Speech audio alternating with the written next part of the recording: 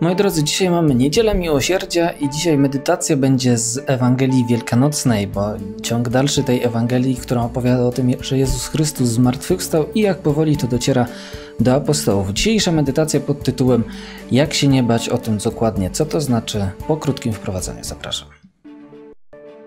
Witaj na medytacji online. Cieszymy się, że jesteś z nami. Jeśli to Twój pierwszy raz, teraz będziesz mógł usłyszeć krótkie wyjaśnienie, jak możesz modlić się razem z naszą medytacyjną wspólnotą. Jeśli jesteś tutaj systematycznie, na pewno już wiesz, jak to wygląda. Medytację Pisma Świętego rozpoczynamy zawsze o 21.30. Wcześniej trwa krótkie wprowadzenie do medytacji. W tym czasie przygotuj sobie miejsce, w którym chcesz medytować. Medytowanie przy komputerze jest bardzo trudne. Najlepszym miejscem jest wygodny fotel lub krzesło. Pamiętaj, żeby wyłączyć Facebook oraz inne strony internetowe, tak żeby nic Ci nie przeszkadzało. Streaming medytacji jest także na YouTubie. Są tam lepsze warunki do medytowania. Link znajdziesz w opisie postu. Komentowanie filmiku zostaw na później. Będziemy to robić po zakończeniu medytacji. Przed medytacją możesz wyłączyć monitor. Do modlitwy wystarczy sam dźwięk. Możesz również przygasić światło lub zamknąć oczy. W trakcie medytacji nie musisz nic robić. Usiądź, zrelaksuj się i słuchaj delikatnej muzyki oraz słów prowadzącego. Po prostu pozwól sobie na przeżywanie tego, co rodzi się w Twoich myślach, wyobrażeniach i uczuciach. Duch Święty sam poprowadzi Twoją modlitwę. Możesz mu zaufać. Nasza medytacja potrwa około 40 minut. Archiwalne medytacje znajdziesz na stronie internetowej www.medytacja.online. A teraz rozpoczynamy wprowadzenie do modlitwy. Medytacje prowadzą jezuici. Moi drodzy, dzisiaj jest Niedziela Miłosierdzia Bożego i pewnie część z osób Was widziało koronkę na naszej mm, pogłębiarce, na profilu naszym y, facebookowym. To była y, koronka o miłosierdzie Boże y, z, z hospicjum dla mm, osób bezdomnych. Ci członkowie tego hospicjum modlili się o to, żeby mieć dobre miejsce y, funkcjonowania jakiegoś życia, dlatego że jest problem lokalowy, tak szczerze mówiąc. Y, I są takie plany, żeby tam hospicjum nie było, nie ma innego miejsca na to hospicjum i chłopaki modlili się o to, żeby jakoś miłosierdzie Boże się nad nimi tam zlitowało w tej Warszawie na Mokotowie. Jak ktoś z Was chciałby jeszcze wesprzeć chłopaków w modlitwie, to na pewno to jest dobry pomysł.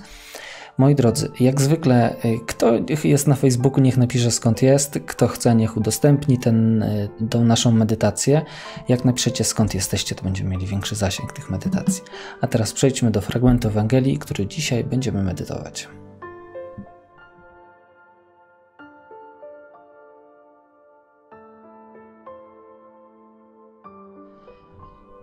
Z Ewangelii według świętego Jana.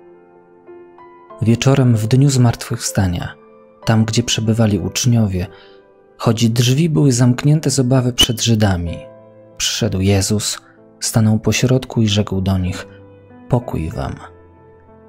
A to powiedziawszy, pokazał im ręce i bok. Uradowali się zatem uczniowie, ujrzawszy Pana. A Jezus znowu rzekł do nich: Pokój wam. Jak ojciec mnie posłał, taki ja was posyłam. Po tych słowach tchnął na nich i powiedział im: Weźmijcie Ducha Świętego. Którym odpuścicie grzechy, są im odpuszczone, a którym zatrzymacie, są im zatrzymane. Ale Tomasz, jeden z dwunastu zwany Didymos, nie był razem z nimi, kiedy przyszedł Jezus. Inni więc uczniowie mówili do niego: Widzieliśmy Pana. Ale on rzekł do nich: jeśli na rękach jego nie zobaczę śladu gwoździ, nie włożę palca mego w miejsce gwoździ i nie włożę ręki mojej do boku mego, nie włożę. A po ośmiu dniach, kiedy uczniowie byli znowu wewnątrz domu i Tomasz z nimi, Jezus przyszedł, choć drzwi były zamknięte. Stanął pośrodku i rzekł: Pokój wam. Następnie rzekł do Tomasza – Podnieś tutaj swój palec i zobacz moje ręce. podnieś rękę i włóż ją do mego boku i nie bądź niedowiarkiem, lecz wierzącym. Tomasz w odpowiedzi rzekł do niego: Pan mój i Bóg mój. Powiedział mu Jezus: Uwierzyłeś dlatego, że mnie ujrzałeś? Błogosławieni, którzy nie widzieli, a uwierzyli. I wiele innych znaków, których nie zapisano w tej księdze, uczynił Jezus wobec uczniów. Te zaś zapisano, abyście wierzyli, że Jezus jest Mesjaszem, Synem Bożym, i abyście wierząc mieli życie w Jego imię.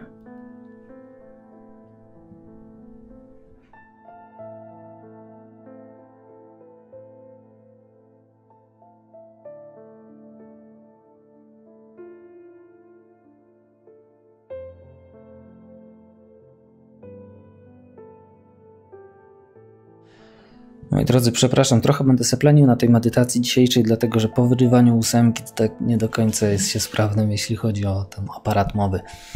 E, ale wracając do naszej medytacji, co będziemy dzisiaj medytować? Bardzo chciałbym zaprosić te wszystkie osoby, które w zeszłym tygodniu były na medytacji, albo ktoś, kto w tym tygodniu zrobił medytację, wszak chodzi nam o tą poprzednią. E, gdzie byliśmy w naszym grobie. I dzisiejsza medytacja chciałbym, żeby była krokiem dalej, dlatego że wychodzenie z grobu, y, przestawanie y, się lękać, wychodzenie z lęków to nie jest proces, który się odbywa w jednym momencie. To jest y, proces, który trwa u jednych dłużej, u innych krócej, ale z założenia on ma trwać. Więc jak ktoś ma takie przekonanie, że to musi być coś takiego przełomowego w moim życiu, co mnie oświeci, to może ci Pan da, ale zazwyczaj ludziom daje proces, a takie punktowe momenty, które się zapamiętuje jakoś mocniej, bo komuś coś się stało, to jest rzadkość. Nie zawsze Bóg tak działa. Zazwyczaj działa jednak Bóg przez proces. Więc wchodzimy w taki proces tego, że jestem y, w jakimś miejscu, w którym jestem z obawy przed Żydami. To jest prawie to samo, co w, w grobie. To jest miejsce zamknięte i chciałbym, żeby te osoby, które były tydzień temu na medytacji, dzisiaj weszły w taki sam obraz jak wtedy. Jeśli byłeś tydzień temu, to wyobraź sobie grup, w którym jesteś, nawet jeśli wtedy z niego wyszedłeś to wyjście po raz drugi z tego grobu może być głębsze później w funkcjonowaniu na co dzień, że może mieć głębsze konsekwencje. I zapraszam, żebyśmy znów poczuli tą atmosferę zamknięcia, strachu. Może ktoś w tym grobie, w tym wieczorniku zamknięty ze mną jest, może tam jestem sam, ja. Natomiast ja tam jestem. I chciałbym, żebyśmy zobaczyli, kiedy tak się poczujemy, jacy gdzieś tam naprawdę w środku jesteśmy pozamykani, poprzelęknieni, odizolowani, smutni, schłodzeni, zziębnięci, to zobaczyć, jak, jak do mnie przychodzi Jezus i pozwala mi podotykać swoje rany. Jestem jakby jak ten Tomasz, który może dotknąć te rany. I chciałbym, żeby każdy z Was na medytacji wziął Jezusa rękę i dotknął to miejsce, gdzie, y, gdzie on ma te rany. Dotknął głowy, gdzie były ciernie, może dotknął boku, dotknął stopy. Mm, można to pocałować, poczuć smak tego, te, tego miejsca, y, zapytać, czy Jezusa to boli doświadczyć tego namacalnie. Dzisiaj na kazaniu mój współbrat Romek Groszewski mówił o czymś takim bardzo ciekawym, że pokazywanie ran to jest wchodzenie w intymność. Więc jeśli ja mam mieć jakąkolwiek siłę do tego, żeby wychodzić z moich wieczorników pozamykanych z obawy przed Żydami, z moich grobów chłodnych, zimnych, gdzie jest woń śmierci, to tylko dlatego, że wchodzę w kontakt z Jezusem, nie dlatego, że się zmobilizowałem do tego. W życiu duchowym nie chodzi o mobilizowanie się do czegoś, chodzi o odnajdywanie siły y, z relacji z Bogiem. Więc y, ta relacja jest istotą tego, czy ja wyjdę z tego wieczornika, czy ja wyjdę z tego grobu. A relacja buduje się przez intymność. I biorąc pod uwagę to, co Romek dzisiaj powiedział, a to fajne jest, to Jezus, kiedy mi pokazuje y, mój lęk, kiedy mi pokazuje swoje rany, to mówi mi coś takiego: Ja cię dopuszczam do intymności. Jezus mnie dopuścił. I teraz w medytacji jest kolej na mnie. Czy ja pozwolę Jezusowi, że ja wyciągę, wyciągnę swoją rękę i pokażę mu: Jezu, patrz, to są moje rany. I, I pozwolić, żeby Jezus to dotknął. Może mam rany nie tylko na dłoniach. Pozwolić, żeby Jezus to dotknął. Ja poznaję Jego, On poznaje moje. Jego rany nie są jakieś mniej bolące niż moje, to są takie same, czyli ja się mogę wstydzić moich ran. Jezus pewnie też się wstydził, bo na tym rany polegają, że nie chcemy ich pokazywać.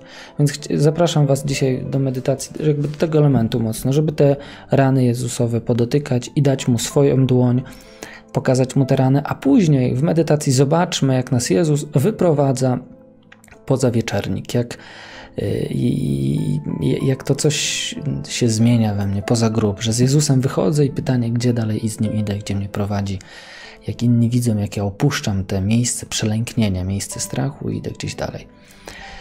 Tyle, jeśli chodzi o wstęp. Moi drodzy, kto jest na medytacji bez lektora na YouTubie, niech sprawdzi, czy chce być na tej medytacji, bo w trakcie medytacji bez lektora, jak sama nazwa wskazuje, nie ma lektora. Natomiast kto jest na medytacji z lektorem, niech się też upewni, czy na tej medytacji chce być. Lektor wyłącza się po, mm, początek medytacji, kiedy, y, kiedy jest wejście w obraz, wyobrazimy sobie pewną rzecz, no to wtedy już się lektor wyłącza. Zapraszam Was, udostępnijcie tę medytację Waszym znajomym, polajkujcie, napiszcie skąd jesteście, jeśli chodzi o Facebook. I jeszcze raz przeczytam fragment Ewangelii, który będziemy medytować, a w tym czasie niech każdy z Was znajdzie takie miejsce, które nie będzie przeszkadzało, nie będzie konkurowało z Jezusem. Żeby to było spotkanie z Jezusem, to niech zostanie On, tylko On, czyli tylko dźwięk, tylko wideo, jak kto woli. Na stronie pogłębiar.pl jest wersja tylko audio, jeśli ktoś ma słabe łącze nie włączajmy Facebooka, wyłączmy wszystko inne. Przenieśmy się do takiego pokoju, gdzie będzie cicho, żeby Jezus nie miał konkurencji, żebym nie musiał co 3 sekundy decydować, czy skupiam się na Jezusie, czy na czymś bardziej atrakcyjnym.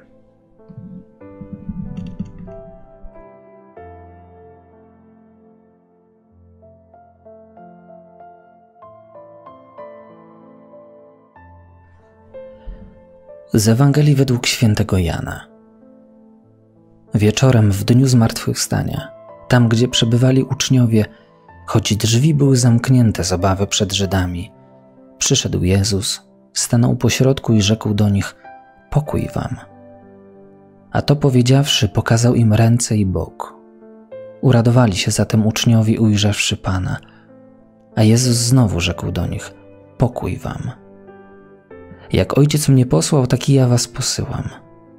Po tych słowach tchnął na nich i powiedział im: Weźmijcie ducha świętego, którym odpuścicie grzechy, są im odpuszczone, a którym zatrzymacie, są im zatrzymane. Ale Tomasz, jeden z dwunastu zwany Didymos, nie był razem z nimi, kiedy przyszedł Jezus. Inni więc uczniowie mówili do niego: Widzieliśmy Pana. Ale on rzekł do nich: jeżeli na rękach jego nie zobaczę śladu gwoździ, nie włożę palca mego w miejsce gwoździ i nie włożę ręki mojej do boku jego, nie uwierzę. A po ośmiu dniach, kiedy uczniowie jego byli znowu wewnątrz domu i Tomasz z nimi, Jezus przyszedł, choć drzwi były zamknięte. Stanął pośrodku i rzekł: Pokój wam.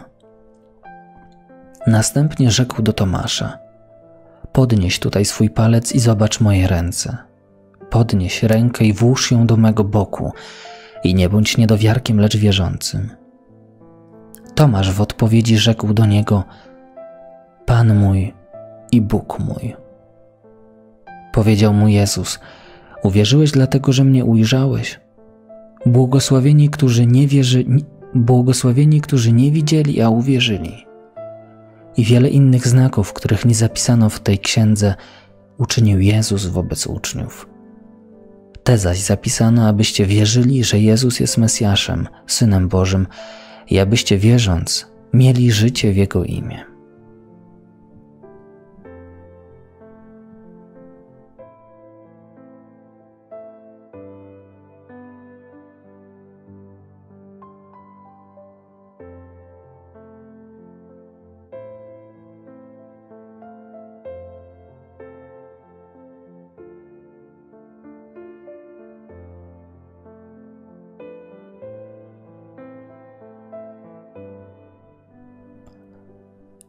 Na początku tej modlitwy patrz na Jezusa.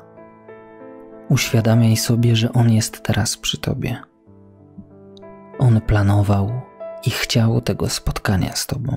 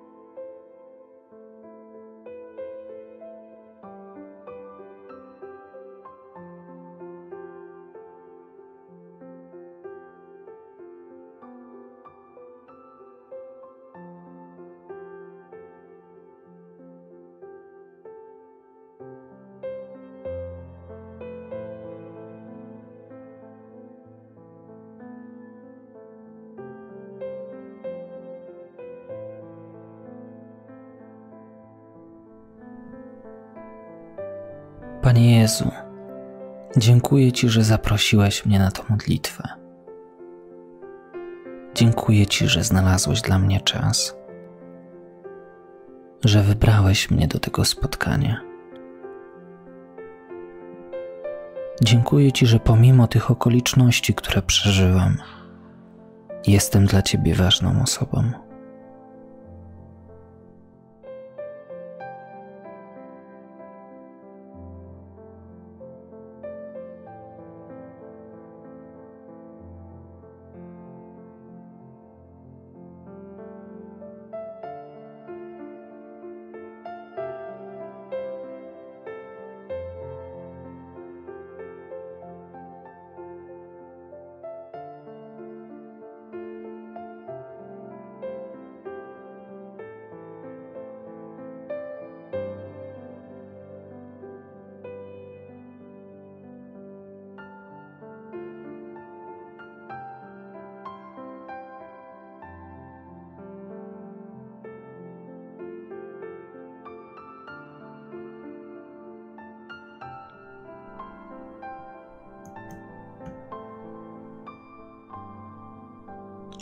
Ojca i Syna i Ducha Świętego. Amen. Panie Jezu, proszę Cię, aby wszystkie moje zamiary, decyzje i czyny były skierowane jedynie na Twoją chwałę. Proszę, abyś to Ty poprowadził tę modlitwę.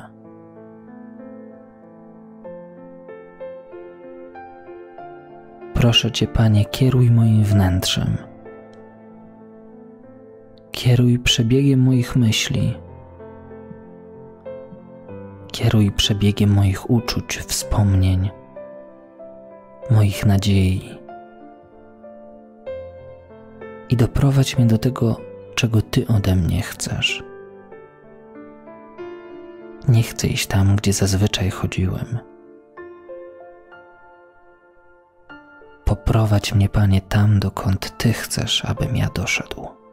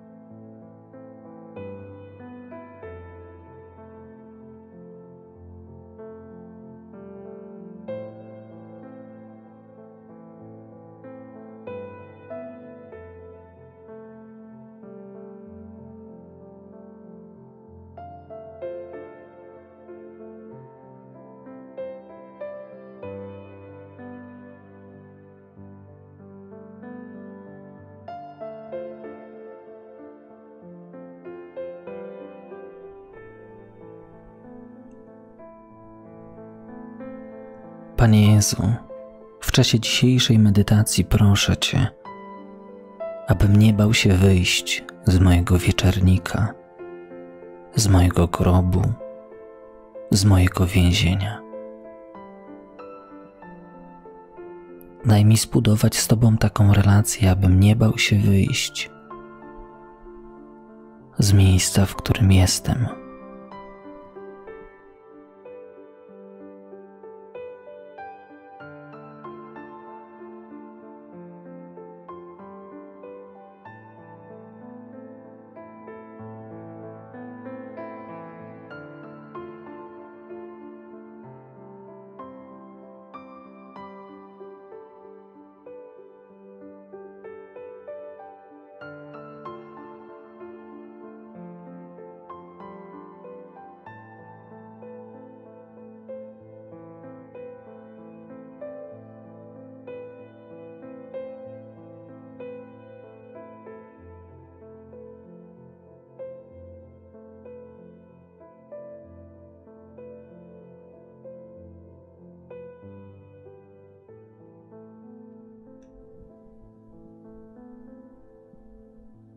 Na początku tej modlitwy, mając zamknięte oczy, zobacz wnętrze wieczernika, grobu lub więzienia, w którym jesteś.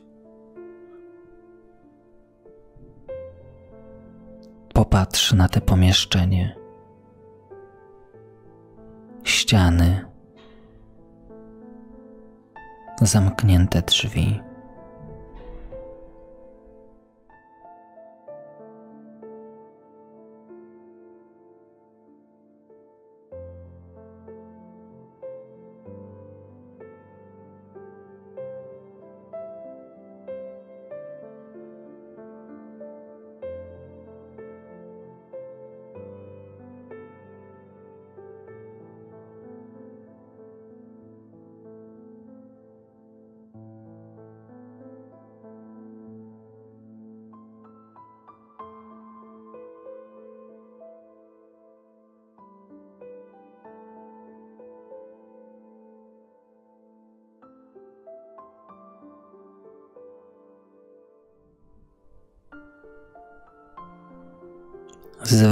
Uwagę na temperaturę, jaka panuje w tym pomieszczeniu.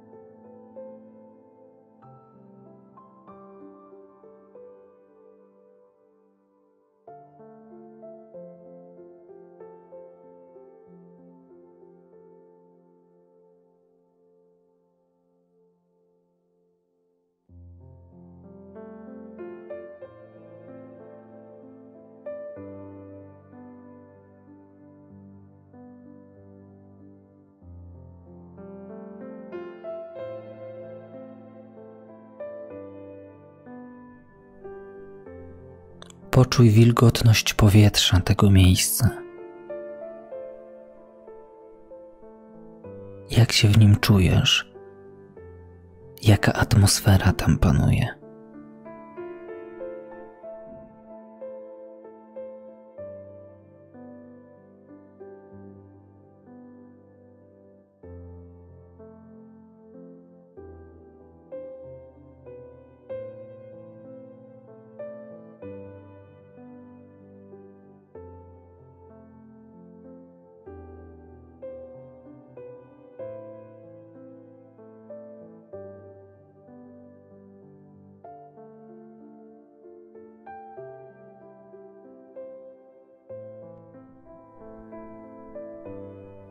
Zwróć uwagę na małą ilość światła. Narodzący się w powietrzu lęk, na osamotnienie, które cię ogarnia.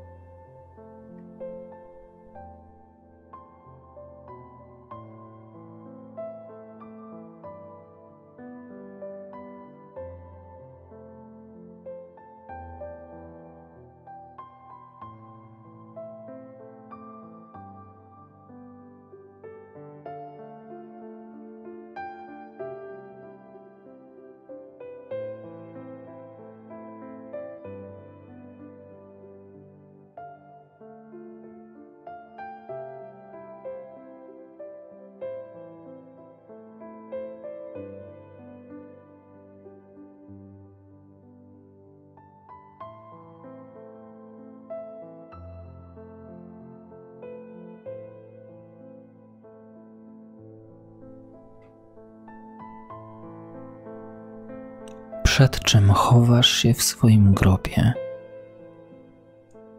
przed czym zamykasz się w swoim wieczerniku.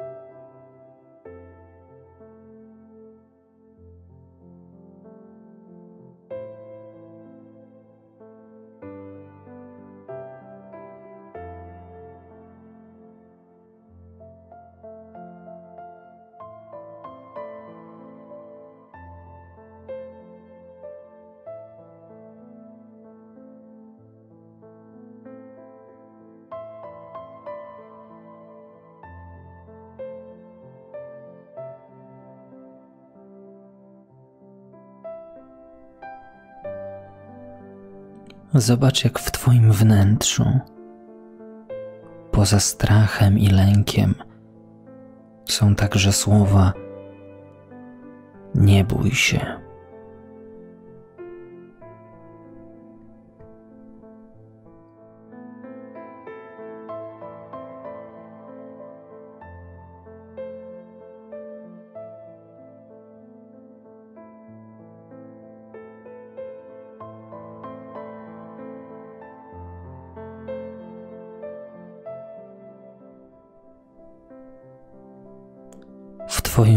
Wnętrzu są także słowa: Nic ci się nie stanie.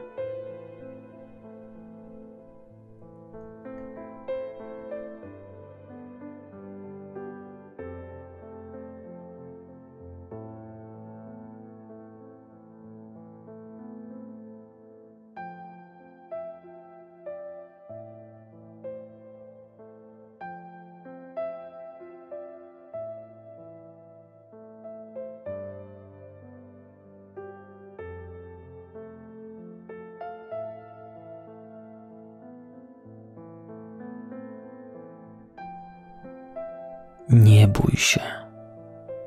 Nikt nie wyrwie cię z moich rąk.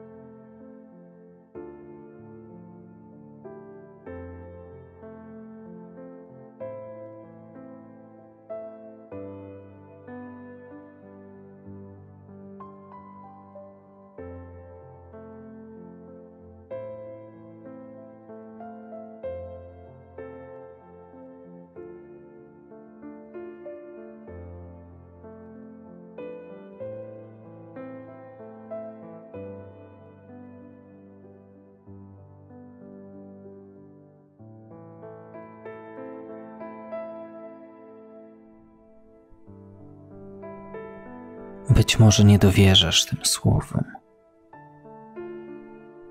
Lęk, osamotnienie biorą górę. Chciałbyś zobaczyć prawdziwego Jezusa, który potwierdziłby te słowa.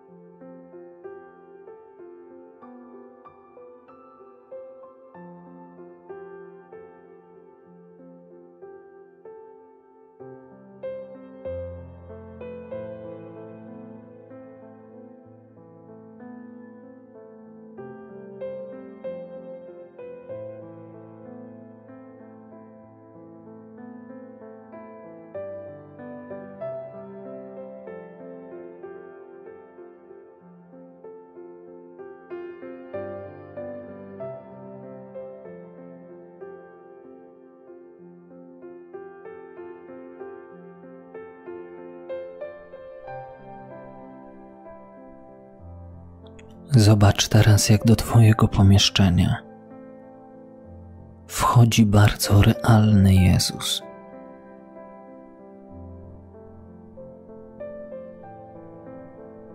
Zobacz, jak otwiera drzwi.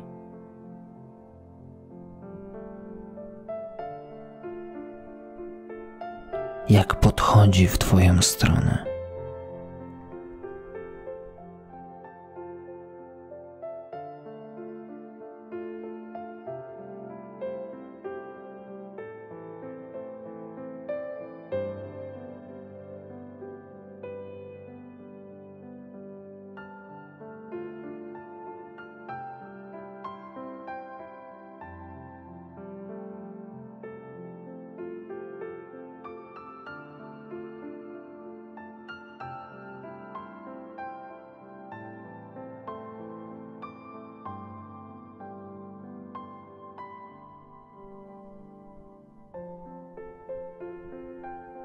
Popatrz na Jego postawę.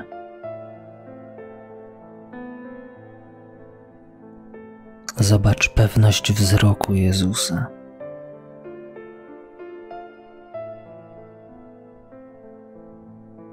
Zobacz, jak powoli wyciąga do ciebie swoją rękę, dziurawą.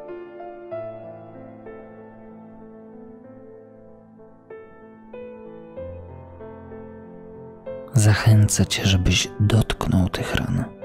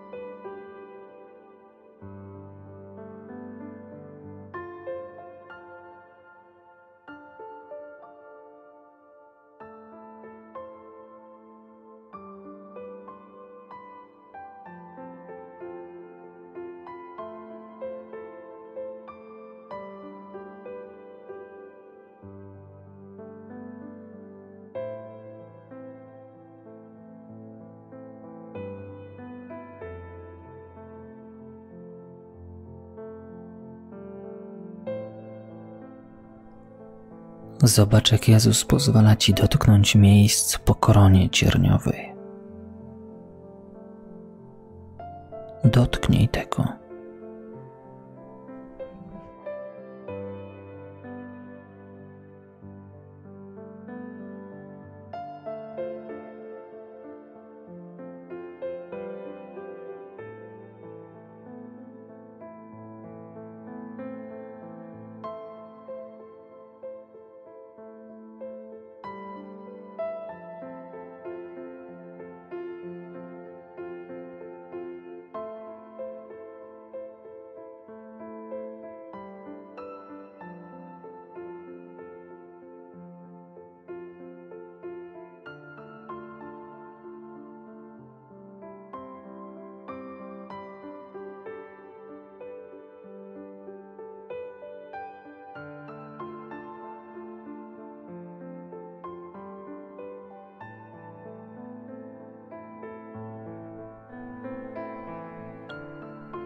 Pokazywanie swoich ran Jezusowi nie przychodzi łatwo.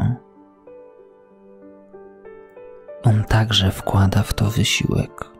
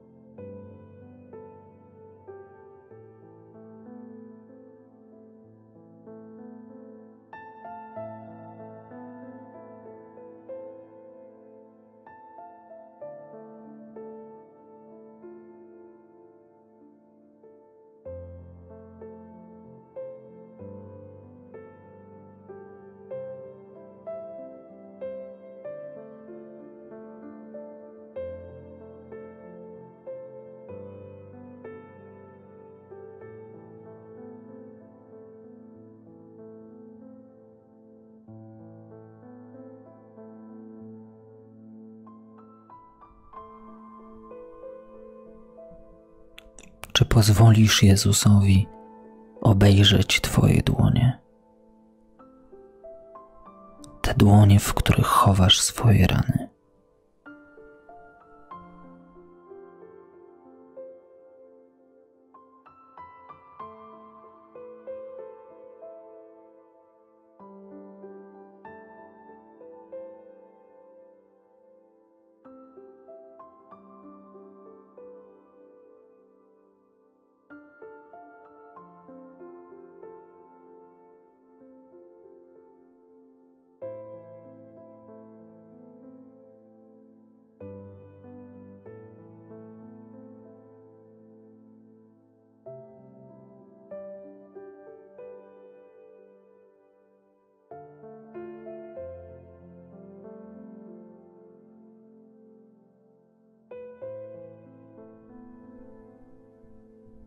Wyciągnij rękę w jego stronę.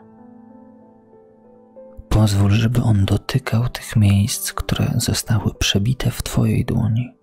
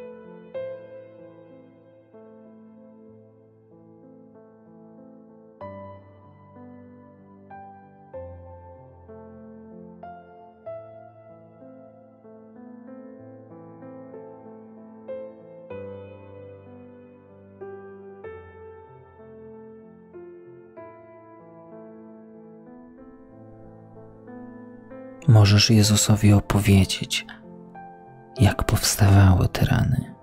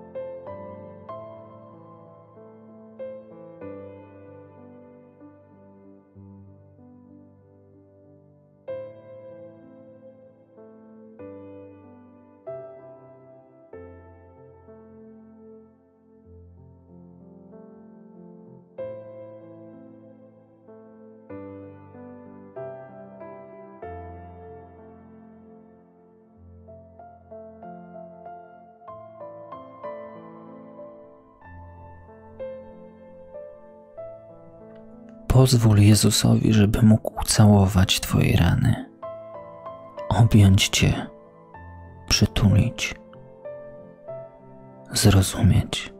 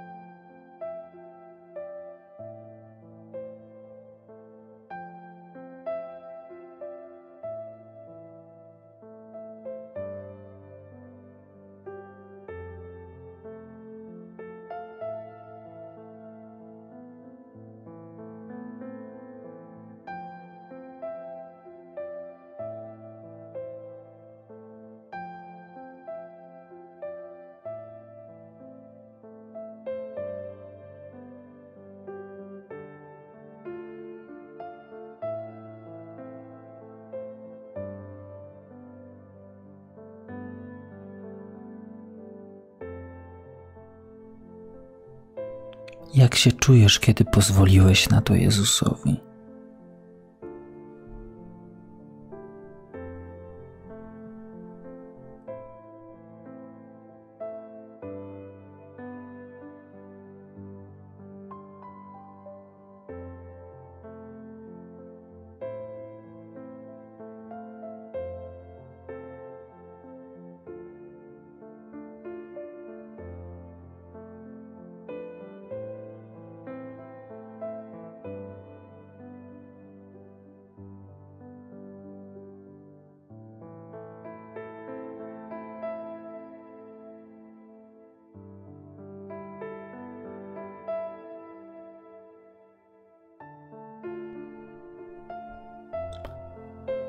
Zobacz teraz, jak Jezus, obejmując Cię, wyprowadza Cię poza wieczernik. Powoli wyprowadza Cię poza Twój grób. Wyjdź razem z Nim z tego pomieszczenia.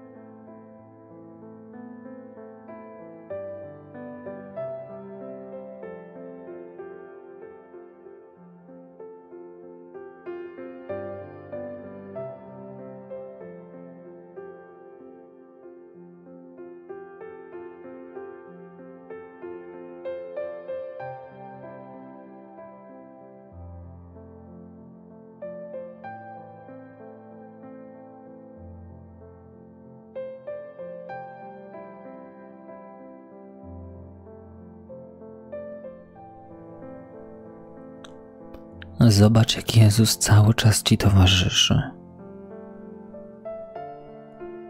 Popatrz, w które miejsce On Cię prowadzi.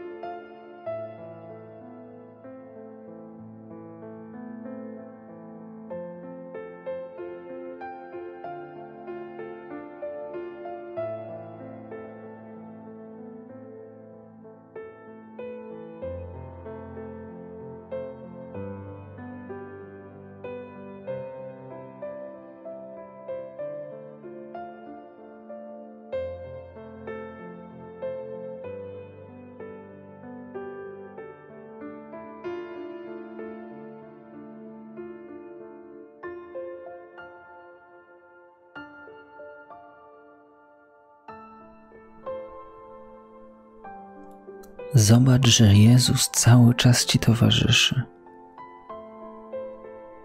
Nie opuszcza Cię ani na krok, prowadząc Cię do tych nowych miejsc.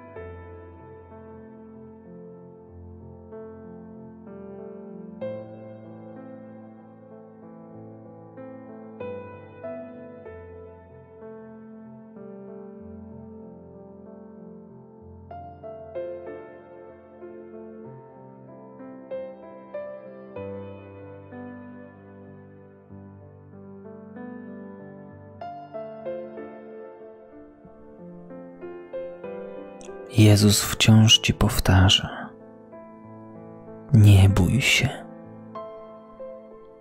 Nic ci się nie stanie.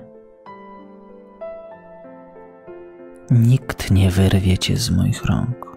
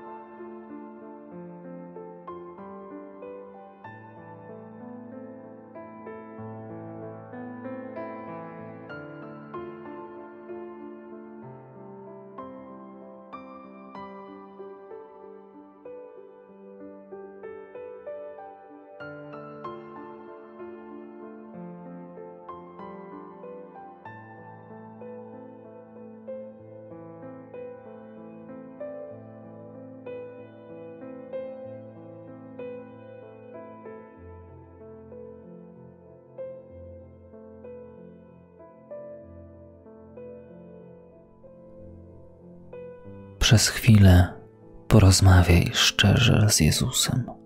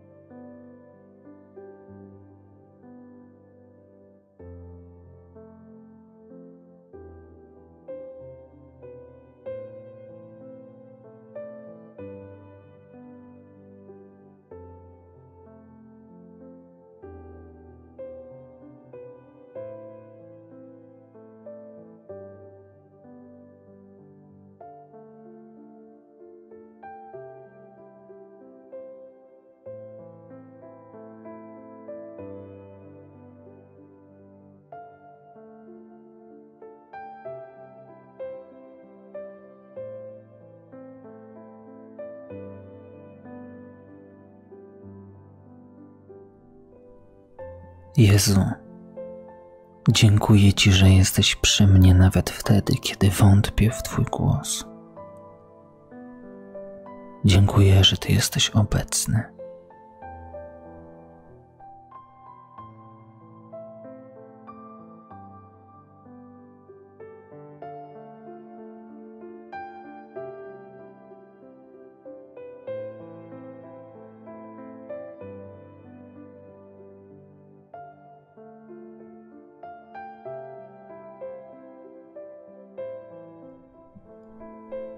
Duszo Chrystusowa, uświęć mnie.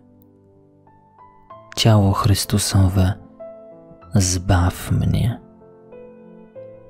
Wodo z boku Chrystusowego, obmyj mnie. Krwi Chrystusowa, upój mnie. Męko Chrystusowa, wzmocnij mnie. O dobry Jezu, wysłuchaj mnie. W ranach swoich ukryj mnie. Nie dozwól mi oddalić się od Ciebie. Od nieprzyjaciela złośliwego broń mnie. W godzinę śmierci mojej wezwij mnie i każ mi przyjść do siebie abym ze świętymi Twymi chwalił Cię na wieki wieków. Amen. W imię Ojca i Syna i Ducha Świętego. Amen.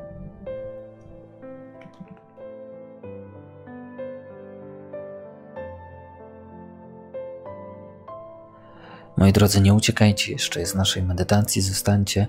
Teraz jest chwila refleksji dla tych wszystkich, y, no właściwie dla nas wszystkich, którzy robiliśmy tę medytację. Napiszmy w tej refleksji, co jest moją, moim grobem, miejscem, do którego się chowam, przed kim się chowam.